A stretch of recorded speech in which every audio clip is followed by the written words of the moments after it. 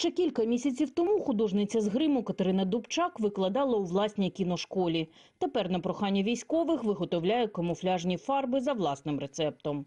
Насамперед було важливо зробити так, щоб він був сонцезахисний та водостійкий. Військові пітніють, може піти дощ, е, ну або що. І треба, щоб він не стік, не забруднив форму.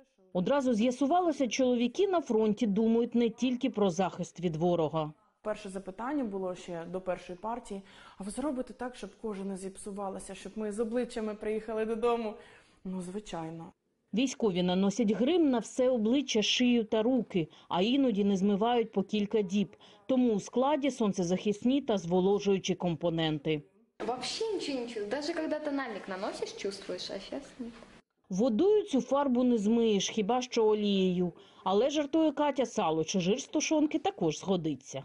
У нас є коричневий, зелений та чорний. Ось це був перший запит, коли ми тестували кольори. Ми відсилали, я на собі затести робила, відсилала. Кольори дуже сподобались, ми їх затвердили.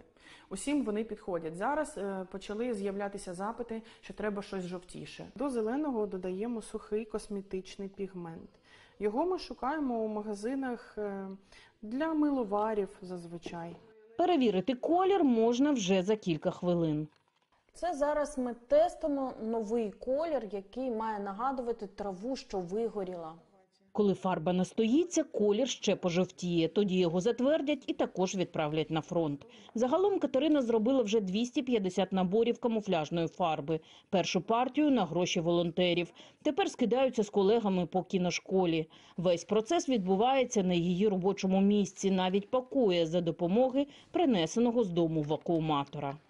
Баночка може тріснути, а поліетилен можна зрізати або відірвати, е, на декілька людей розподілити. Як закінчиться, можна викинути. Як не закінчиться, ем, запальничкою підпалили. Та зажали. А ще гігієна, бо вони всі пальчиками лізуть до тої баночки, починають маститися. Тому хай видавлюють. Катерині вже запропонували запатентувати її рецептуру тактичного гриму. Проте, каже дівчина, зараз не до цього. Вона мріє про інше. Щоб війна закінчилась. Це моя найбільша мрія зараз. Щоб закінчилась? Щоб ніхто не помирав. Марія Тарасова, Михайло Данілов, подробиці, телеканал Інтер, Марафон. Єдині новини.